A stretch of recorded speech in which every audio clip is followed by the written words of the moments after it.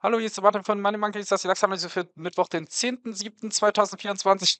Der DAX, der hat hier, war mit Scheuklappen unterwegs gewesen. Ähm, ja, vorwärts, vorwärts hat er gehört, aber er wusste nicht, und hat sich hier nach unten durchgehauen. Der eine oder andere freut sich bestimmt, äh, auch mal zur Abwechslung ein bisschen wieder nach unten Action ist, wobei, muss man schon sagen, die letzten Wochen ja eigentlich äh, für beide Seiten immer viel äh, zu haben war, sofern man denn hier nicht schon auf einen Ausbruch aus war. Dafür war es sicherlich enttäuschend, weil jetzt eben wieder in seiner Range schon steht, wieder in den ganzen Spannen der ganzen letzten Tage. 61% der Bewegung, 61% von der Bewegung jetzt nach unten gemacht, auch eine interessante Stelle. Äh, hat mich ein bisschen gewundert, dass er das hier nicht so richtig angenommen hat und hier eigentlich so zur Seite rausgelaufen ist.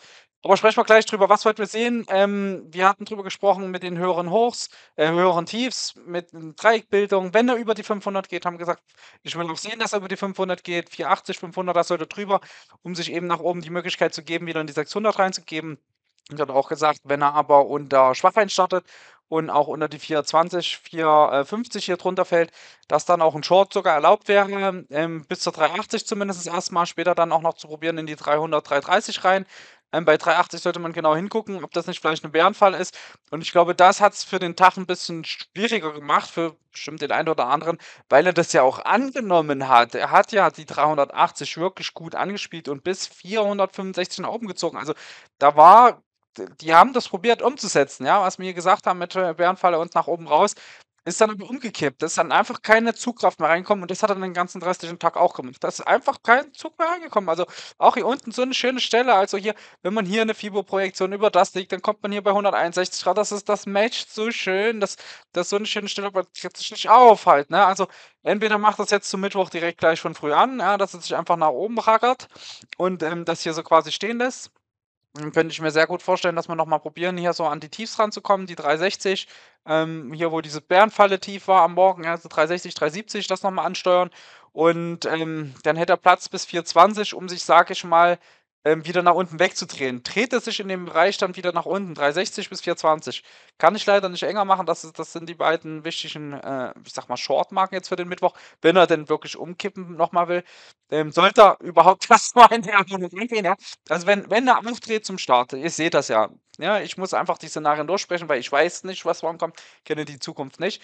Ich möchte aber, dass ihr darauf vorbereitet seid, egal was kommt. Ja, deswegen klingt das manchmal so, wie als erzähle ich hier, alles kann passieren. Ich möchte bloß, dass ihr auf jede Situation eben ähm, äh, vorbereitet seid. Und eine Situation könnte sein, der macht komplett stärker rein, als man denkt, weil eben hier so eine schöne Unterstützungscluster sind ähm, über mehrere Instanzen hinweg.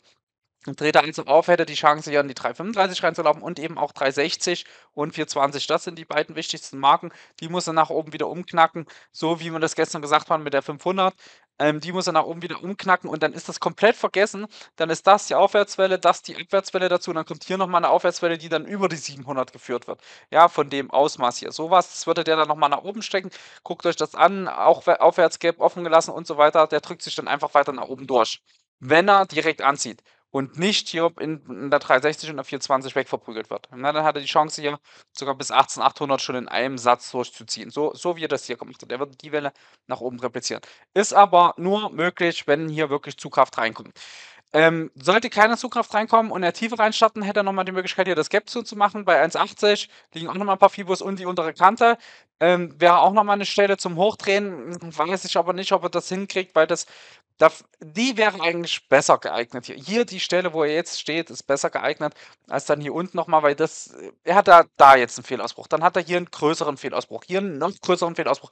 Liegt doch nahe, dass jetzt hier noch eine fettere hässliche Dings daneben kommt. Keine Ahnung, bis 1880 oder irgendwie so 18100, äh, 1870, dass er sich hier reinparkt und dann von dort erstmal wieder aufdreht. Also auch wenn man hier sogar noch nicht mal ausschließen kann, dass er sogar komplett unten rausfällt. Aber da sind wir jetzt bei so vielen Sachen, die passieren könnte. Wir sind einfach in der Range. Und in der Range ist das Dominierende das ist seitwärts.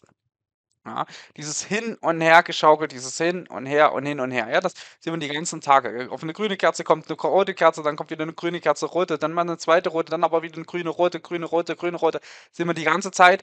Und deswegen sollte man sich auf alles vorbereiten und einfach versuchen, mit den Marken, die wir im Umfeld haben, hier eben zu planen und zu kalkulieren, sodass es einem letztendlich total egal ist, ob er jetzt fällt oder steigt. Man probiert sich einfach an den Marken zu orientieren und wenn wir sehen, er dreht hier bei 1,80 auf, wissen wir, okay, von 1,80 kann er jetzt erstmal wieder zur 2,40 und 3,35 hoch.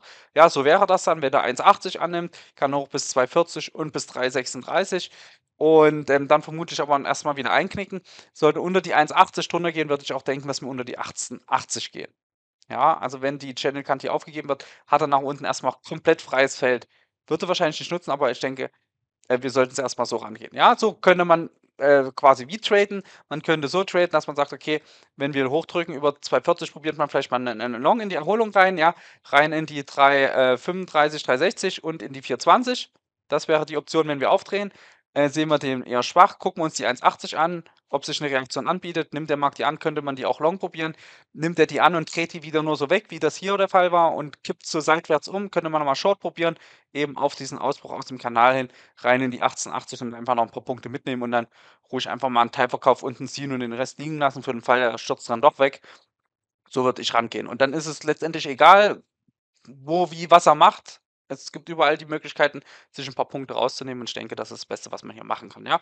Also, lasst euch von dem nicht verarschen, lasst euch nicht vorführen, ähm, versucht einfach, egal was kommt, ähm, 'n bisschen markentreu zu bleiben, ja, 'n bisschen auch, ähm, nicht so ihr das das im Kopf habt, irgendwie was Bestimmtes zu wollen, sondern den wirklich kommen lasst und dann eben eure Chance nutzt und mitgeht und dann dürftet ihr ja trotzdem ganz gut kommen durchkommen. Weil was er macht, ist die ganze Zeit im Zeitfenster bedient ja trotzdem immer wieder den Marken. Ja, er kommt immer wieder zu seinen Stationen zurück, reagiert immer wieder schön, macht schöne Tiefs, schöne Hochs und tippt die auch immer wieder an und da letztlich auch ein paar Punkte mitnehmen. Gut, Freunde, ich mache ja aus, wünsche euch viel Erfolg, äh, zum Mittwoch, gutes Gelingen und dann hören wir uns morgen wieder. Bis dahin, tschüss.